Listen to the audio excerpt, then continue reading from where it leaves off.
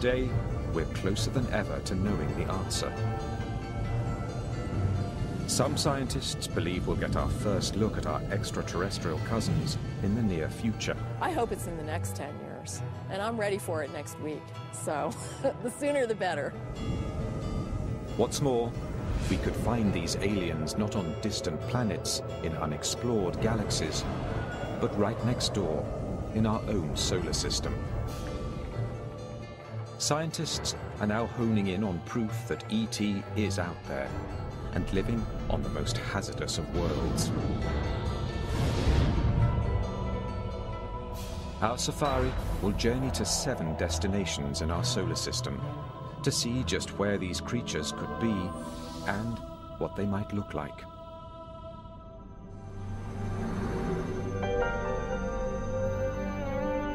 These exotic lands are unimaginably harsh. Life as we think of it would perish in an instant. But alien life may be far tougher than we expect, as we're learning from a surprising group of living things right here on Earth. Until just a few decades ago, we were sure our planet was unique. It is the only one we've found so far that has nurtured the evolution of millions of species.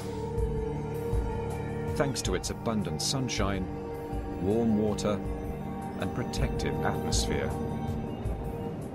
We logically concluded that life needed each of those things, a conclusion that ruled out all other known worlds in our solar system.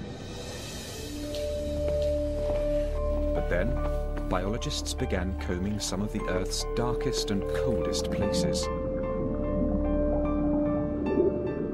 And to their surprise, they found living, breathing creatures.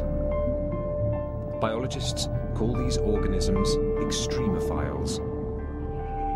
Some don't need light or oxygen. Others survive in tremendous atmospheric pressure.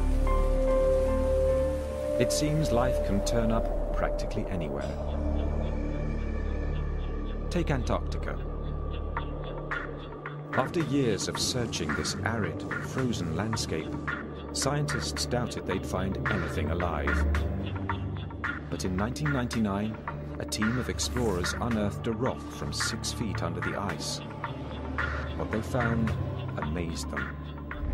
When they cracked the rock open, they found it teeming with tiny creatures here, at temperatures of 68 degrees below zero and six feet under solid ice, life had found a foothold. Biologists have been increasingly discovering life, not kangaroos, but, you know, simpler forms of life that live at very cold temperatures, very high temperatures, very great pressures, even in places where there's sort of a high degree of radiation. Turns out life is able to live in a much wider variety of environments on our own planet than we used to think. And if life can survive extreme conditions, not just here at home, but elsewhere in our solar system, think of what this could mean.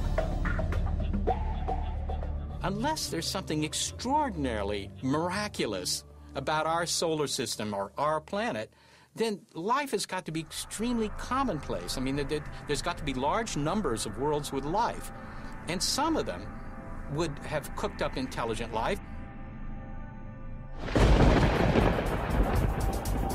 In the beginning, our Earth was as deadly a planet as any.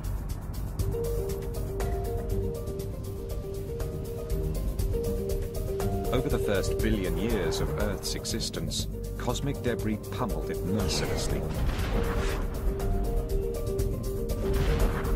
The impacts turned its surface into a broiling, seething inferno where life was impossible. But once the solar system settled down and the Earth began to cool, water appeared, setting the stage for life. In 1953, researcher Stanley Miller proved in a lab experiment just how easily life on Earth got its start. He combined water with hydrogen, methane and ammonia, components of the Earth's early atmosphere. Then he zapped his solution with an electric charge to simulate lightning. His results shocked the world. Miller had created organic molecules called amino acids, the protein building blocks of all living things. If lightning helped jumpstart life on Earth, could it have done the same on other planets? Galactic probes have now found the ingredients in Miller's experiment throughout our solar system, including one essential to life. One of the requirements that every form of life that we know about on Earth has, every single one, is liquid water. We've used evidence for liquid water to kind of guide our search for habitable environments. Our safari is headed to seven worlds, some possibly rich in water, where scientists believe aliens might be hiding. While any life there might have begun much like life on Earth, how it looks now is anyone's guess.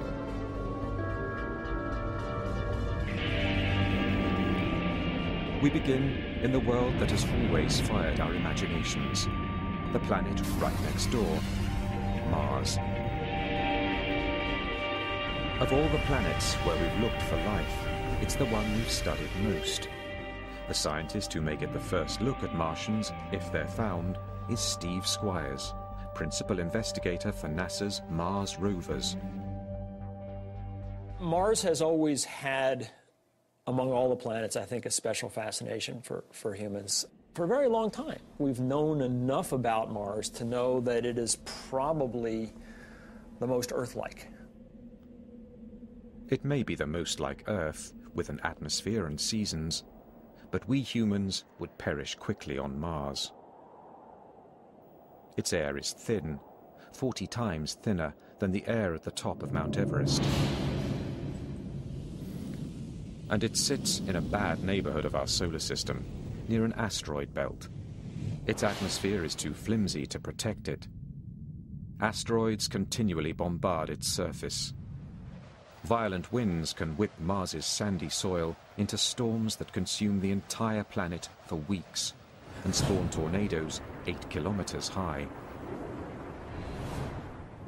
Midday temperatures at the equator of 1 degree Celsius fall to minus 70 at night.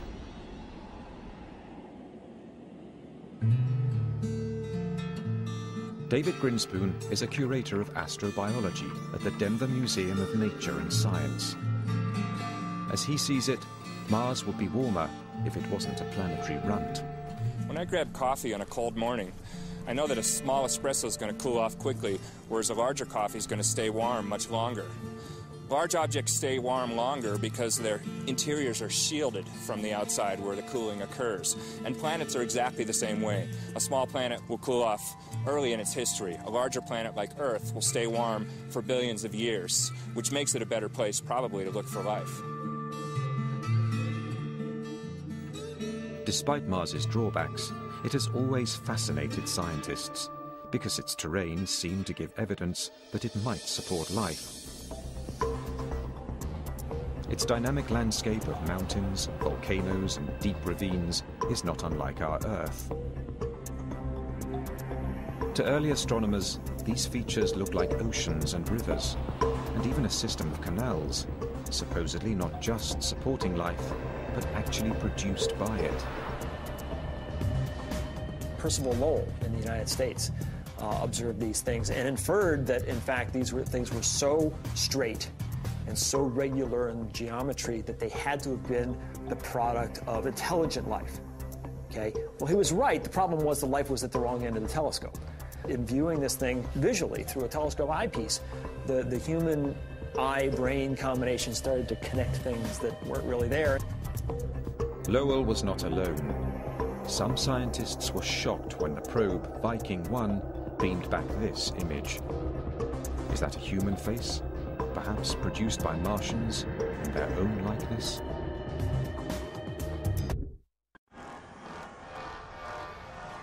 Until recently, we've never really known where to look in our solar system for extraterrestrial life. But we've always known what the aliens would be like once we found them. Was.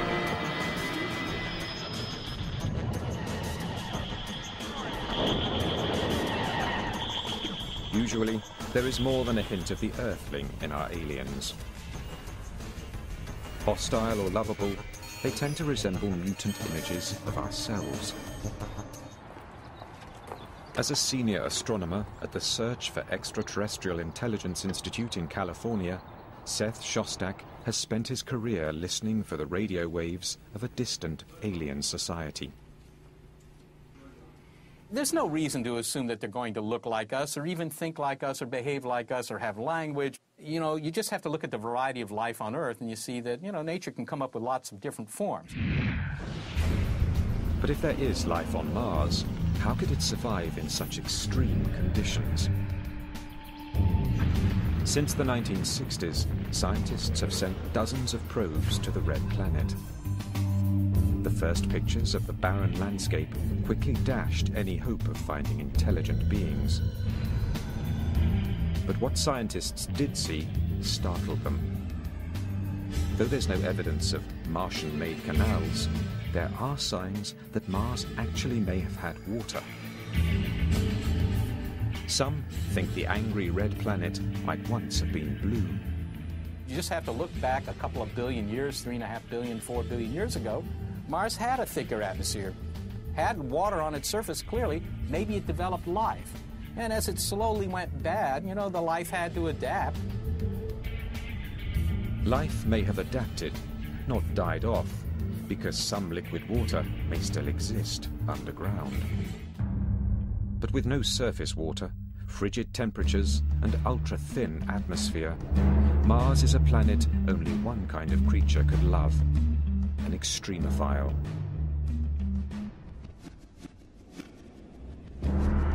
Extremophiles thrive in the cruelest of places. To see where they might lurk on Mars, we head to the Valles Marineris, a massive rift in Mars's surface, 20 times wider than the Grand Canyon in places, and almost as deep as Mount Everest is tall. Lakes may have once flooded this valley, and those lakes could have hosted life. As the water dried up, life could have evolved to cope with the harsher environment. We won't know what these extremophiles are like until we find them. But they may resemble creatures that exist in extreme places right here on Earth. An unusual team of biologists, called astrobiologists, study Earth for the kinds of life we may find in outer space. Astrobiologist Rocco Mancinelli is on the hunt for Mars's extremophiles. If it went beneath the surface, and some of it undoubtedly did, then what happened to it? Well, it formed brine pockets. So what kind of organism can live in a salty brine? A salt-loving organism.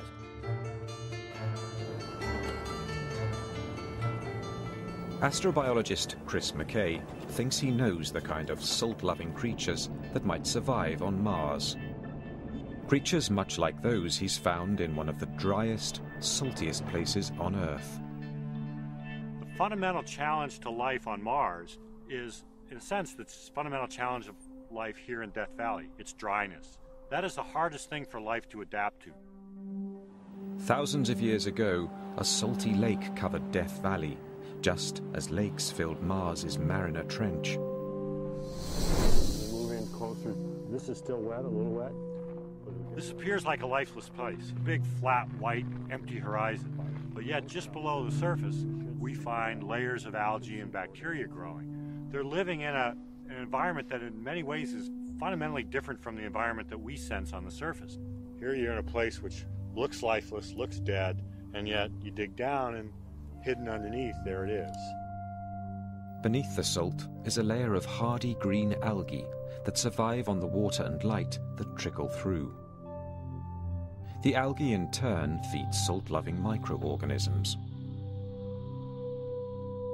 Here in deserts on Earth, dried, salty lake beds, we're going to find them on Mars as well. salty deserts are not the only places life might be hiding on the red planet. There are Mars's tremendous volcanoes, some of them six times larger than those on Earth. Astrobiologist Penny Boston studies the caves, called lava tubes, left over after volcanic lava has dissipated. Not long ago, we assumed caves like these were devoid of life. They get no sunlight, and no sunlight means no photosynthesis. But in lava tubes outside Albuquerque, New Mexico, Boston has found evidence of extreme life. Because we know Mars has many, many lava tubes. And so here we have the opportunity to see how these formed and also to look at the life that inhabits them.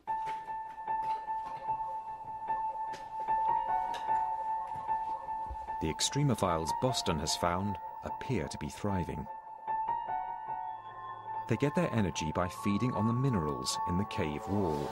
So here we're up close to the wall and you can see these white patches here growing against the black basalt. And each one of these is like a major city for these little guys. They're, you know, they're all nestled in these little pockets in the basalt. And so these guys are permanently adapted to these freezing temperatures. Uh, they never see any light, and they get uh, what they can find in the environment. Are there creatures like these in the caves below Mars's volcano fields? Boston thinks so. We are going to find life, and I just hope that I live a long and healthy life so that I can still be around to see that. We may already have had our first glimpse of Martians, not from our visit to their planet, but from their visit to ours. 16 million years ago, an asteroid slammed into Mars and propelled a two kilogram rock into space. Amazingly, that rock sailed to Earth and came to rest in Antarctica. Inside, NASA scientist David McKay and Everett Gibson were amazed to spot the outlines of fossils. Water has carved small tunnels in the rock. And in these tunnels, McKay and Gibson found what they believed to be evidence of bacterial life. These are little microbes, and they're dead, and they're, they're fossils, or in some cases, we don't even see the forms. We see the footprints or the evidence that they were there. Life from Mars? Maybe. The hunt is only just beginning. NASA plans to send a rover called Phoenix to Mars. It will study the planet's ice cap and probe three feet beneath the surface. NASA even has a plan to send human visitors. They may not meet the little green men of our imaginations, but they could encounter life in some form. What will it look like? It is likely to be a subterranean dweller with an ability to survive on little water. Perhaps an organism with a taste for minerals, like the creatures in the lava tubes of New Mexico. Even the smallest find would have enormous implications. Proof that life is not unique to Earth, but exists just next door.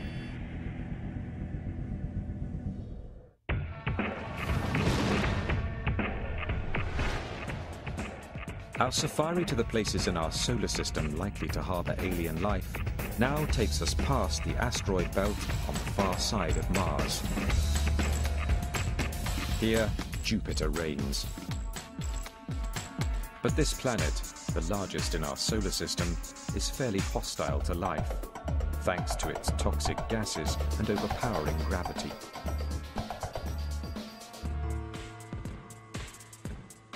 Not only is it pretty cold out at Jupiter, uh, it's also, you know, it's got this really thick atmosphere, tens of thousands of miles thick, and it's got ammonia and methane and, you know, things used to clean the bathroom. But Jupiter has more than 60 moons that we know about. At first glance, those moons would seem unlikely places to seek alien life. Their atmospheres are thin and they are inhumanly cold. The temperature on Callisto is lower than minus 200 degrees Celsius. The scientific probes Voyager and Galileo have detected little on the surface of these moons but ice, with one dramatic exception. Io is one of the closest moons to Jupiter. When NASA sent Voyager 1 to Io in 1979, astronomers were astonished to find its surface roiling with giant volcanoes. Io is the most volcanically active place in the solar system, just spewing volcanic material from its surface all the time. What could be heating the interior of this frigid moon? Amazingly, it's the force of gravity from Jupiter. The giant planet exerts enormous gravitational pull on its moons. The closer the moon, the stronger the force. So strong, it can actually stretch their crusts. But some of these moons have elliptical orbits, so as they near Jupiter, the crust stretches towards it. When they move further away, the crust relaxes back towards spherical. This constant tidal movement creates friction deep inside, and that friction generates heat. It's like rubbing two sticks together to start a fire. The pull of Jupiter is heating Io from the inside out. Volcanic fumes and lack of water make Io inhospitable to life. But Jupiter's other large moons are more distant, close enough for Jupiter's gravity to warm them from within, but distant enough to remain calm on the surface. Three of them look particularly promising as possible homes for alien life. The one furthest from the giant planet, Callisto. On its surface, Callisto looks like our moon, scarred and cratered by countless hits from asteroids. Those impacts may have melted the surface ice for brief periods, allowing life to take hold. But in 1998, the Galileo spacecraft detected a much more promising incubator deep beneath Callisto's surface. Radioactive rocks and tremendous pressure in its core generate heat inside Callisto. The heat may be melting its icy crust from below, creating a hidden ocean. And hidden oceans could mean hidden life. As we fly closer to Jupiter, we find its largest moon, Ganymede. Ganymede is also deeply scarred. Ridges rise above its surface. Those bright spots are craters as big as five kilometers across and likely to be lined with frost. But these photos offer the most compelling clues to where life here might hide. They show flowing glaciers, glaciers that resemble those on Earth. Ganymede's moving glaciers could also be signs of heat within. So, like Callisto, Ganymede could also have a hidden ocean, buried beneath as much as 190 kilometers of ice. The third moon on this leg of our alien safari is the most intriguing. It is called Europa, and of the three, it resides closest to Jupiter. That proximity to the giant planet means Europa's core may be very hot, far hotter than Callisto's or Ganymede's. But its surface remains frigid, a potent combination for life, since there could be a temperate zone where they meet. Mammoth fissures scar Europa's thick crust of ice, a sign that ice is always shifting. On our own planet, we see the same cracks in the ice sheets covering the Arctic Ocean. Europa's crust may be riding the largest ocean in the solar system. An ocean twice as large as all of Earth's put together. Now, those oceans, if they're there, and the chances are pretty good that at least some of them are, uh, they've been sitting around for a long time. Four billion years, a little longer, right? In four billion years, an ocean of water, do you think anything might have cooked up there? Well, certainly seems plausible. The environment on, in Europa's ocean is, is more or less as nice as the environment in our own ocean, as a place for, for living things to exist. Heck, things from planet Earth could probably live in the European Ocean. But Europa's oceans would be very cold, even slushy. And sunlight never penetrates them, thanks to an icy cover that may be 16 kilometers thick. We might never have thought life could exist here if not for a revolutionary discovery off the coast of Ecuador. Deep in the Pacific, biologists have found flourishing communities of tube worms, crabs, and even squid. These creatures are thriving despite complete darkness, extreme cold, and the pressure of the deep ocean. They feed on bacteria that take their energy not from the sun, but from chemicals erupting from the sea floor. We might find very similar volcanic vents on Europa, supporting their own web of life. To find out, NASA scientists would like to put a lander on the Europan surface. Some would like to send a cryobot, a robot that would melt the ice and release a probe into the liquid below. That's not so hard to do. You just have to melt your way through. But you're going to have to melt your way through not a couple hundred feet, but a, maybe a, a, dozen miles of ice. And send down a, uh, a fishing line with a uh, maybe a video camera and a light bulb on it and look around.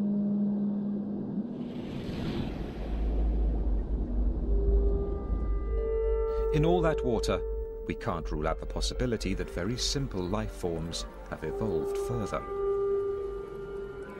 We might even find creatures as advanced as some here at home.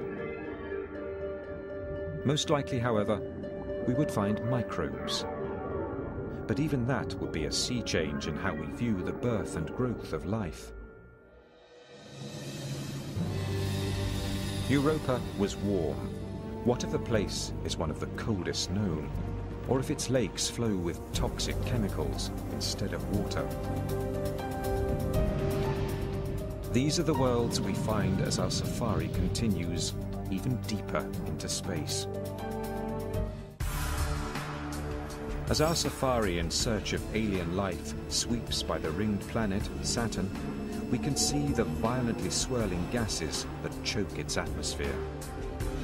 We can also feel Saturn's gravity weaker than Jupiter's, but still formidable. We'll keep moving. We're not likely to find living things here. Saturn's rings are also extremely inhospitable. They're made of rock and ice, as small as a grain of sugar or as big as a house. But Saturn has many moons, 56 that we've spotted so far. Our safari heads first to one of those moons, a tiny frigid satellite called Enceladus, just 500 kilometers in diameter. Here, gravity is very weak, a fraction of that on Earth. And Enceladus has hardly any atmosphere. It reflects back into space almost all the sunlight that hits it, making it the shiniest object in our solar system. Until very recently, we also thought Enceladus was too cold to support life. It appears we were wrong. In 2005, after a seven-year journey, the Cassini spacecraft approached the tiny moon and detected something that stunned the mission's principal investigator, Caroline Porco. So th this was the picture that just, you know, grabbed us. Just was shocking. Those are plumes made of water from a geyser. The geyser's steam and hot water hit the cold vacuum of space and explode into a jet of ice. With little gravity to rein it in, the ice cloud can grow as big as Enceladus itself. Porco has never seen anything like it anywhere else. It's like a planetary explorer's dream to come upon a body like Enceladus. Those jets, those fountains, if you will, just spewing vapor and icy snow hundreds of kilometers above the south pole of Enceladus. There's only one conclusion. Tiny, frigid Enceladus is piping hot within. Like Jupiter, Saturn's giant gravitational field tugs on its satellites, creating friction and heat within. As far as we can tell now, it seems like an inescapable conclusion that there may be liquid water deeper down on Enceladus because it's warm. And the best models we can put forth right now to even explain the warmth, much less the jets, seem to indicate that you would get temperatures warm enough to melt water. Heat, liquid water, even the furthest reaches of our solar system may contain the chemistry for life. What kind of creature could live in the steamy waters of a geyser? Thanks to hot springs back on Earth, we have some idea. At one point, we assumed nothing lived in the steam-driven fountains of Yellowstone National Park. But then, biologists discovered microbes in these waters. Microbes that feed on chemicals dissolved in the water. Today, we call them thermophiles. The hardiest can thrive in boiling water. Could there be thermophiles on Enceladus? To find out, our safari takes us in for a close-up of this extraterrestrial Old Faithful. It's too cold for anything to live near the surface, but temperatures there are minus 165 degrees Celsius. But what about the hot water inside?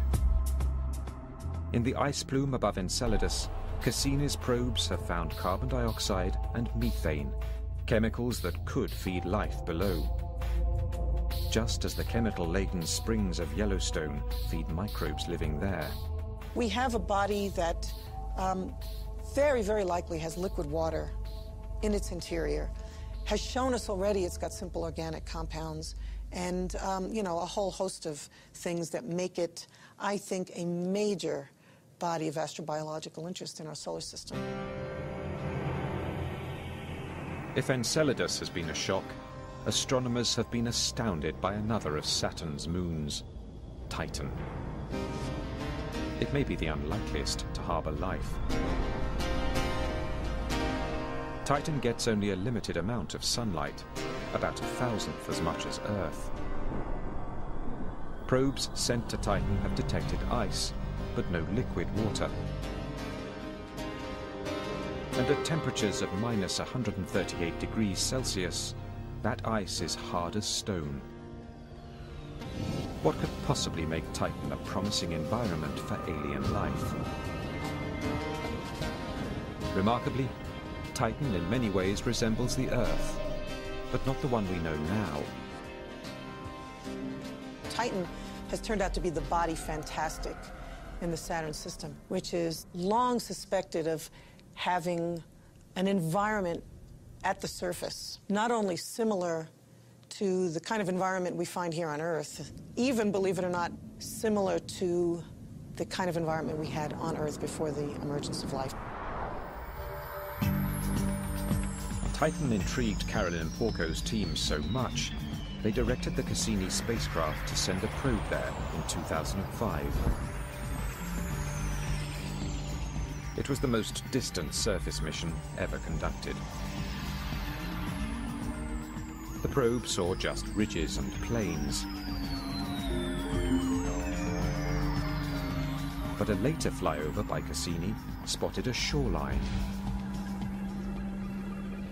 Soon, thousands of lakes came into view, at least one bigger than the Great Lakes of North America.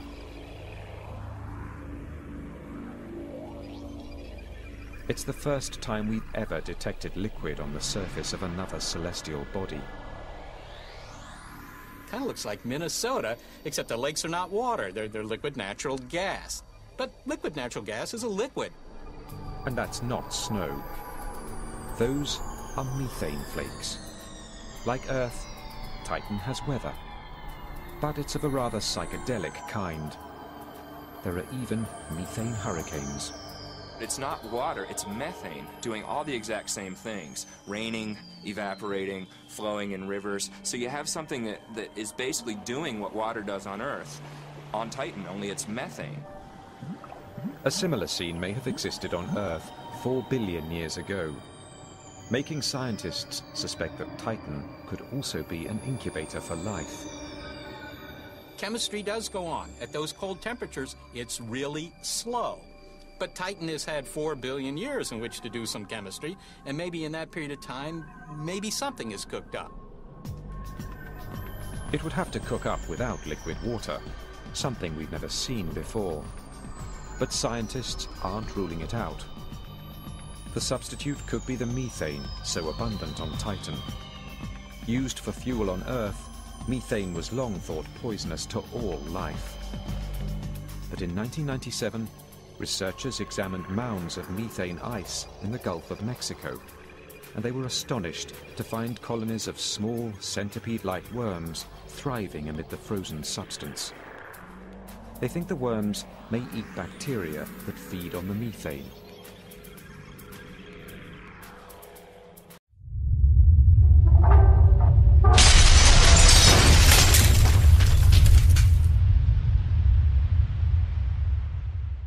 In general, um, things that we think of as deadly, many of them are potentially lively. If you can figure out an evolutionary way to tap into that energy rather than having it destroy you then it, it can be bountiful.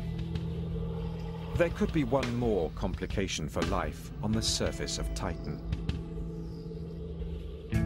With only a weak magnetic field to shield it living things on the surface could be exposed to cosmic radiation but that might not be a problem for an extremophile as we found here on Earth. Biologists have uncovered plenty of life near Chernobyl's contaminated nuclear reactor. And even swimming in toxic radioactive spills, actually feeding off the decaying molecules. It's possible Titan's life forms could do the same. To find life on Titan, we may have to dive into its methane lakes, where we might find chemical-loving bacteria.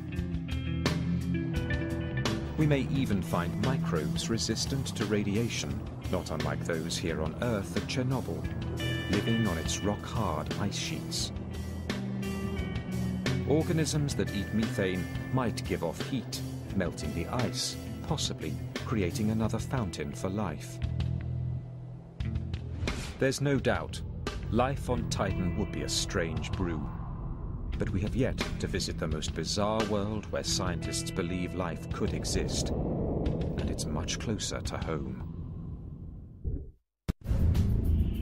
Our safari of the world's most likely to harbor alien life has taken us far. We've visited frigid deserts, submerged oceans, and methane lakes. But the world we are about to visit may be the most extreme of all. For our final stop, we are turning back toward Earth, to Venus, our closest planetary neighbor in the solar system. If life can survive here, it seems it could exist almost everywhere. To reach the surface of Venus, we have to fly through a dense layer of yellow clouds, 64 kilometers deep, with a composition similar to battery acid. The atmosphere here is 90 times heavier than Earth's, too heavy for a human to tolerate. On the ground, there are extinct volcanoes and lava flows as far as the eye can see. They cover 85% of the planet's surface. It is hard to believe Venus once had vast oceans. You basically had a runaway greenhouse effect where uh, as it starts to get warmer, the oceans start to evaporate, and then that puts water vapor in the air. Well, water vapor is a potent greenhouse gas, so that's what leads to the runaway. The oceans basically boil off, and then the CO2 all ends up in the atmosphere, and so today you have this very hot, hyper greenhouse planet. With temperatures around 460 degrees Celsius, Venus is even hotter than Mercury, the planet closest to the Sun not a surface hospitable to life. Life as we know it cannot exist on the surface of Venus because organic molecules would just be ripped to shreds by, by the hot gases. But we've stopped here, not because of what's on the ground, but what's in the air. In 1982, the Soviet spacecraft Venera 14 visited Venus. In the clouds, 50 kilometers up, it detected temperatures much cooler than on the surface. What's more, it found the molecules so critical for life, H2O. So far, every bit of water we've found beyond Earth is frozen solid. Only in the clouds above Venus have we found it in vapor form, a possible incubator for life. But Venus's clouds are also filled with highly acidic sulfur. Once, we thought nothing could live in sulfur. But scientists have analyzed some of the most acidic water on Earth, leaching from a California mine.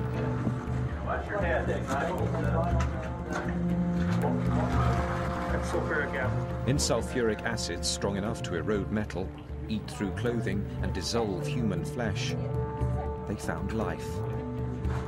Acid-loving extremophiles.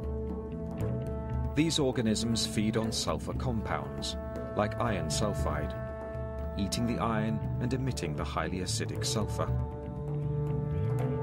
Do extremophiles like these float above Venus? Astrobiologist David Grinspoon likes to think it's possible. Maybe in the clouds of Venus there are some sulfur-based organisms sulfur actually absorbs ultraviolet light in interesting ways. And I'm just imagining that there's some, maybe some kind of photochemical um, reaction going on where uh, ultraviolet light is actually being used to convert chemicals into some higher energy state, which then is, is basically being eaten. What will these aliens be like if we do find them? They would have to tolerate high temperatures and enormous atmospheric pressure. They would also need to thrive in acid concentrations deadly to most life forms. Perhaps they might resemble a hardier version of the acid-resistant extremophiles in California's mine. We keep finding that life lives in places that we used to think were inhospitable. So whenever we say, oh, it's impossible, you couldn't have life in the clouds of Venus, I think we have to be very careful because they might just reflect our own ignorance or our uh, limitations on our own imagination and maybe not real limitations on the, the ultimate creativity of nature, which seems to find solutions to these problems. As our safari returns to the cool, blue, lush and lively world of Earth, we can see why we so revere its life-sustaining gifts. But as we are learning, even the most extreme environments can harbor living things. Extremophiles may resemble the first version of life in our universe, and they could even be the most common. Could they have evolved further from these humble beginnings? Could intelligent life be out there as well? For more than 40 years, scientists at the Search for Extraterrestrial Intelligence Institute in California have been searching the skies for answers to that question. Astronomer Seth Shostak believes he'll know the sound of alien life when he hears it. We have a couple of, of observing projects to try and find signals. The biggest one are our radio searches, and that's where we use big arrays of antennas, and we point these antennas at nearby star systems that we think, well, this is the kind of star that might have a planet that might be something like Earth. We point in those directions, hoping to pick up a signal that would tell us that somebody there is clever enough to build a radio transmitter. It's a safari that never leaves home. Today, we're closer than ever to knowing the answer. Some scientists believe we'll get our first look at our extraterrestrial cousins in the near future. I hope it's in the next 10 years, and I'm ready for it next week. So, the sooner the better. What's more, we could find these aliens not on distant planets in unexplored galaxies, but right next door in our own solar system. Scientists are now honing in on proof that ET is out there and living on the most hazardous of worlds. Our safari will journey to seven destinations in our solar system to see just where these creatures could be and what they might look like.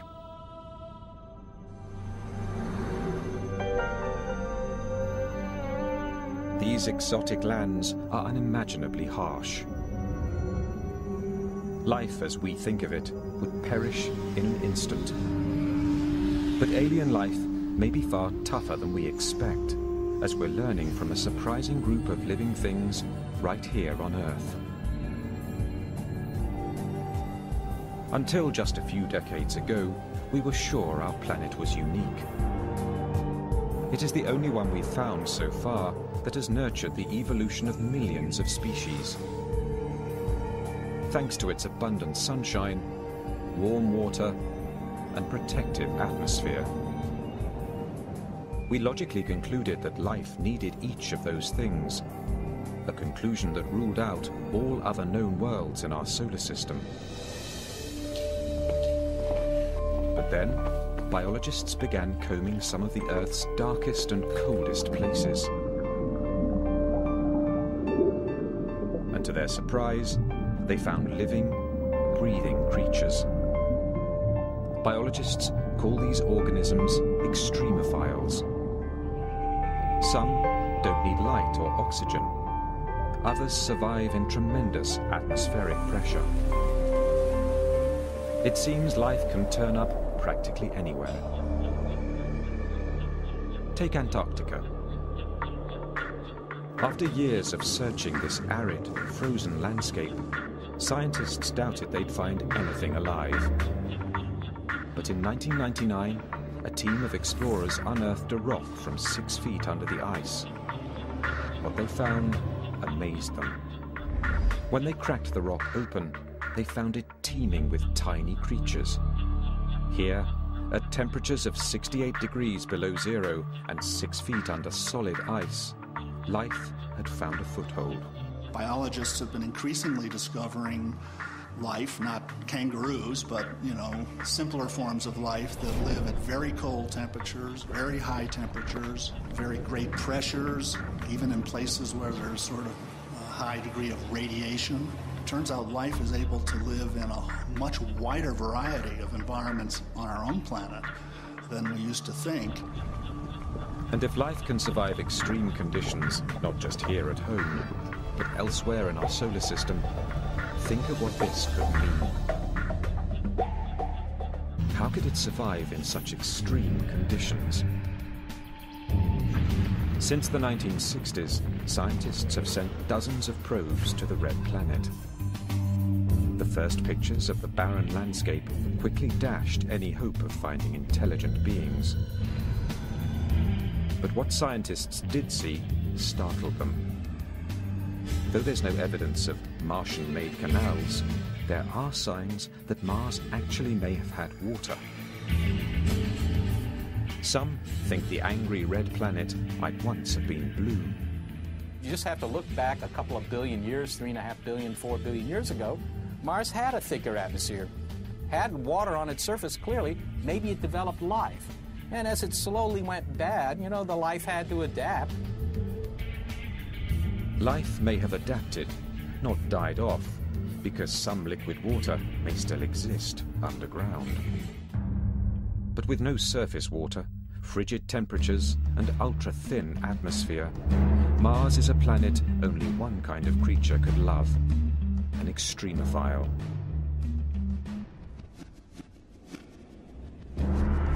Extremophiles thrive in the cruelest of places. To see where they might lurk on Mars, we head to the Valles Marineris, a massive rift in Mars's surface, 20 times wider than the Grand Canyon in places, and almost as deep as Mount Everest is tall. Lakes may have once flooded this valley, and those lakes could have hosted life. As the water dried up, life could have evolved to cope with the harsher environment. We won't know what these extremophiles are like until we find them. But they may resemble creatures that exist in extreme places right here on Earth. An unusual team of biologists, called astrobiologists, study Earth for the kinds of life we may find in outer space. Astrobiologist Rocco Mancinelli is on the hunt for Mars's extremophiles. If it went beneath the surface, and some of it undoubtedly did, then what happened to it? Well, it formed brine pockets. So what kind of organism can live in a salty brine? A salt-loving organism.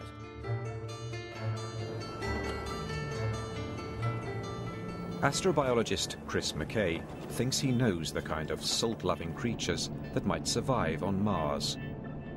Creatures much like those he's found in one of the driest, saltiest places on Earth. The fundamental challenge to life on Mars is, in a sense, the fundamental challenge of life here in Death Valley. It's dryness. That is the hardest thing for life to adapt to.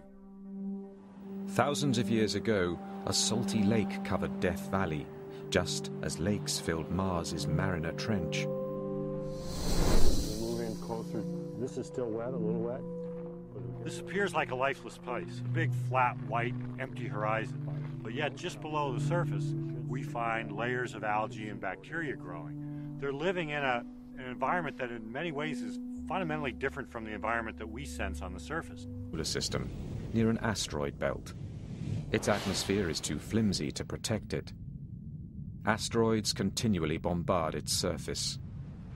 Violent winds can whip Mars's sandy soil into storms that consume the entire planet for weeks and spawn tornadoes eight kilometers high. Midday temperatures at the equator of 1 degree Celsius fall to minus 70 at night.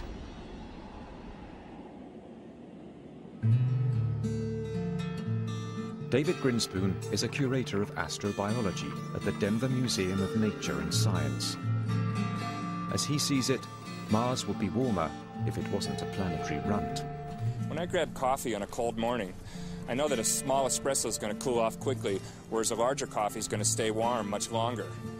Large objects stay warm longer because their interiors are shielded from the outside where the cooling occurs. And planets are exactly the same way. A small planet will cool off early in its history. A larger planet like Earth will stay warm for billions of years, which makes it a better place probably to look for life. Despite Mars's drawbacks, it has always fascinated scientists because its terrain seemed to give evidence that it might support life. Its dynamic landscape of mountains, volcanoes, and deep ravines is not unlike our Earth. To early astronomers, these features look like oceans and rivers, and even a system of canals, supposedly not just supporting life, but actually produced by it.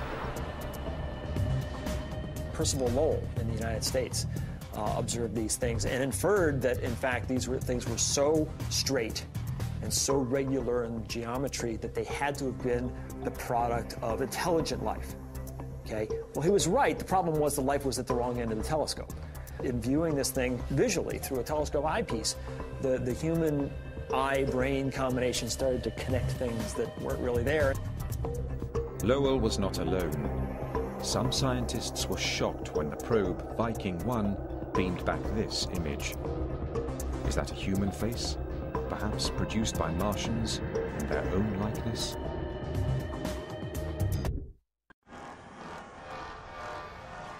Until recently, we've never really known where to look in our solar system for extraterrestrial life.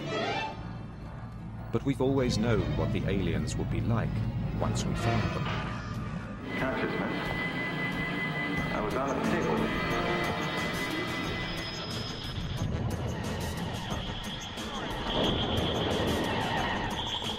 Usually, there is more than a hint of the Earthling in our aliens. Hostile or lovable, they tend to resemble mutant images of ourselves. As a senior astronomer at the Search for Extraterrestrial Intelligence Institute in California, Seth Shostak has spent his career listening for the radio waves of a distant alien society. There's no reason to assume that they're going to look like us or even think like us or behave like us or have language. You know, you just have to look at the variety of life on Earth and you see that, you know, nature can come up with lots of different forms. But if there is life on Mars, Here you're in a place which looks lifeless, looks dead, and yet you dig down and hidden underneath, there it is. beneath the salt is a layer of hardy green algae that survive on the water and light that trickle through. The algae in turn feed salt-loving microorganisms. Here in deserts on Earth, dried, salty lake beds, we're going to find them on Mars as well. Salty deserts are not the only places life might be hiding on the red planet. There are Mars's tremendous volcanoes, some of them six times larger than those on Earth. Astrobiologist Penny Boston studies the caves, called lava tubes, left over after volcanic lava has dissipated. Not long ago, we assumed caves like these were devoid of life. They get no sunlight, and no sunlight means no photosynthesis. But in lava tubes outside Albuquerque, New Mexico, Boston has found evidence of extreme life. Because we know Mars has many, many lava tubes. And so here we have the opportunity to see how these formed and also to look at the life that inhabits them.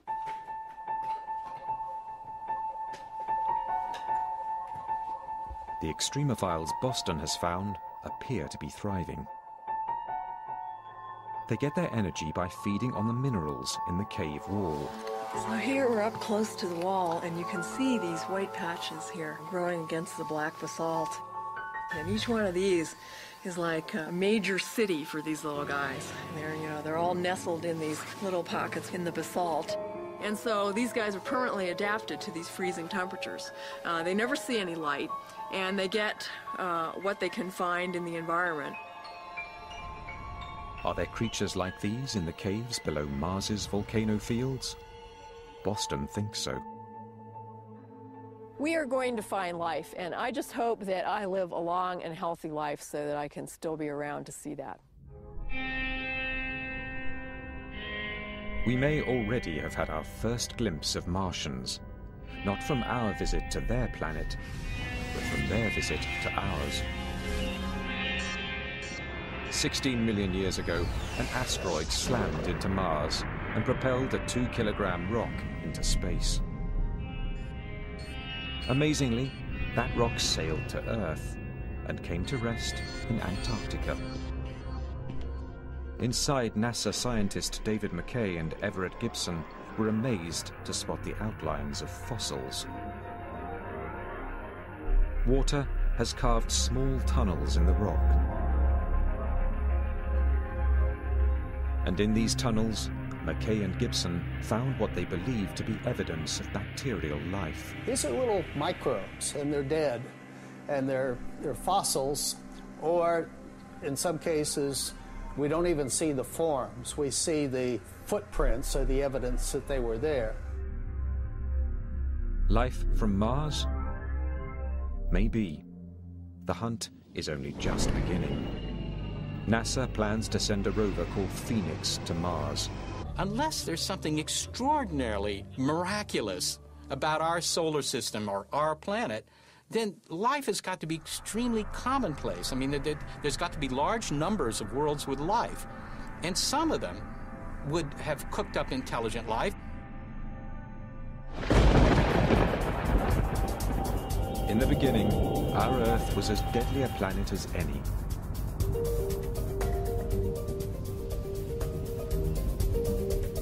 Over the first billion years of Earth's existence, cosmic debris pummeled it mercilessly. The impacts turned its surface into a broiling, seething inferno where life was impossible. But once the solar system settled down and the Earth began to cool, water appeared, setting the stage for life. In 1953, researcher Stanley Miller proved in a lab experiment just how easily life on Earth got its start. He combined water with hydrogen, methane, and ammonia, components of the Earth's early atmosphere. Then he zapped his solution with an electric charge to simulate lightning. His results shocked the world. Miller had created organic molecules called amino acids, the protein building blocks of all living things. If lightning helped jumpstart life on Earth, could it have done the same on other planets? Galactic probes have now found the ingredients in Miller's experiment throughout our solar system, including one essential to life. One of the requirements that every form of life that we know about on Earth has, every single one, is liquid water. We've used evidence for liquid water to kind of guide our search for habitable environments. Our safari is headed to seven worlds, some possibly rich in water, where scientists believe aliens might be hiding. While any life there might have begun much like life on Earth, how it looks now is anyone's guess.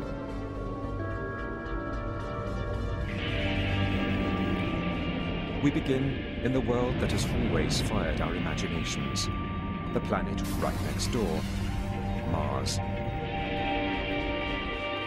Of all the planets where we've looked for life, it's the one we've studied most. The scientist who may get the first look at Martians, if they're found, is Steve Squyres, principal investigator for NASA's Mars rovers.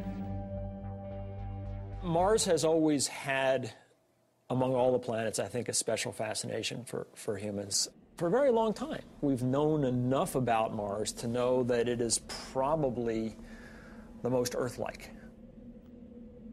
It may be the most like Earth, with an atmosphere and seasons, but we humans would perish quickly on Mars. Its air is thin, 40 times thinner than the air at the top of Mount Everest.